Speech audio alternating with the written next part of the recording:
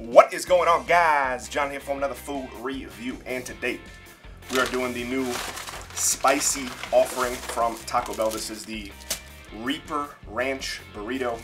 Uh, I believe it has potatoes, cheese, Reaper sauce, tomato, steak.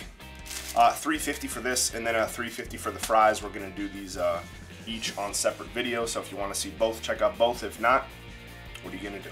All right, so it looks pretty standard, pretty burrito-like. I don't really think we need to get in for a close-up of this. This is what we're working with. Let's try it out.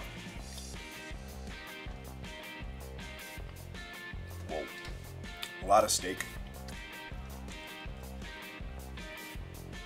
A lot of fries. And yes, I'm eating tomatoes for you guys.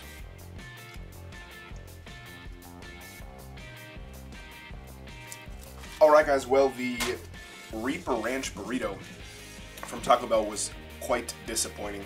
Um, almost no spice at all. My tongue after finishing the entire thing has a little tiny bit of a tingle to it, but nothing that a couple packets of fire sauce could not obtain uh, to begin with. The steak is fine, it's not the worst steak, uh, but it's not like pieces of potatoes, it's they just put a handful of french fries in there kind of lazy if you ask me. Um, not really much going on as far as the filling. It's the steak, a handful of fries, and then some non-existent spicy red goop sauce that they put on it for 350.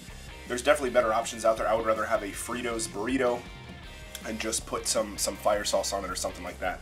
Um, really disappointed. They tout this as one of the hottest peppers in the world, which it is, and then they're gonna use that in the name, and then it's not even gonna be spicy another marketing gimmick to get people in the door when it's not really living up to what it's supposed to be. So overall, guys, it's a reasonable amount of food. It's kind of pricey and it's not really as spicy as it should have been.